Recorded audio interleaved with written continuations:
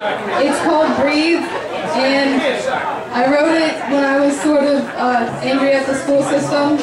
Um, it's how I imagined graduating would feel like, sort of. Hey man, all right. I was thinking I should have those guys. No, I should have called you. Every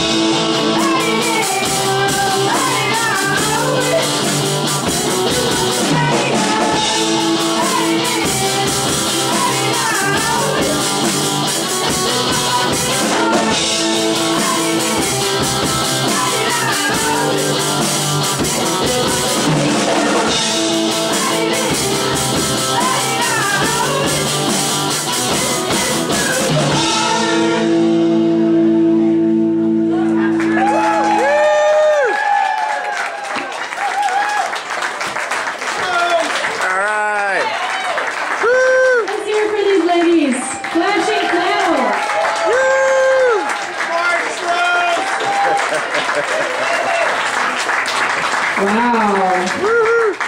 We have been having like a whole surgence of, of uh, all-female punk bands in Yeah, this area. like it. And we have another one later tonight. We got Sapphire Shakedown that's going to close out our show tonight at about 10 o'clock. So um, if you guys make it all the way to 10, you're in for a treat. But thank you.